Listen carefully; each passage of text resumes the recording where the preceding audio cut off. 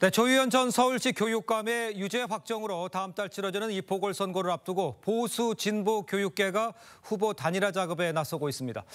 보수 진영은 오늘 후보 단일화 추진을 선언하기로 했는데 일각에서는 교육감 선거가 정치판이 되고 있다면서 직선제를 개선해야 한다 이런 목소리도 커지고 있습니다. 이정민 기자입니다.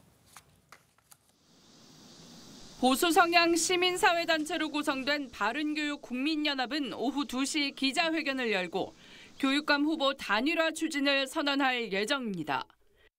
단일화 참여 희망자를 접수하고 토론회도 개최할 계획입니다. 보수 진영에서는 조전혁 전 한나라당 의원과 안양옥 전 한국교원단 총연합회 회장이 출마를 확정했고 박선영 전 자유선진당 의원도 출마 의사를 밝혔습니다. 이미 진보 진영은 단일 후보 추대를 위한 경선 일정까지 확정했습니다. 교육계에선 단일화 여부가 다음 달 16일 보궐선거의 성패를 좌우할 거란 전망이 나옵니다. 보수 진영은 2014년과 2018년, 2022년 단일화에 실패했고 조전 교육감에게 세 번 연거푸 패배했습니다. 교육계 안팎에선 교육감 직선제 개선 목소리도 커집니다.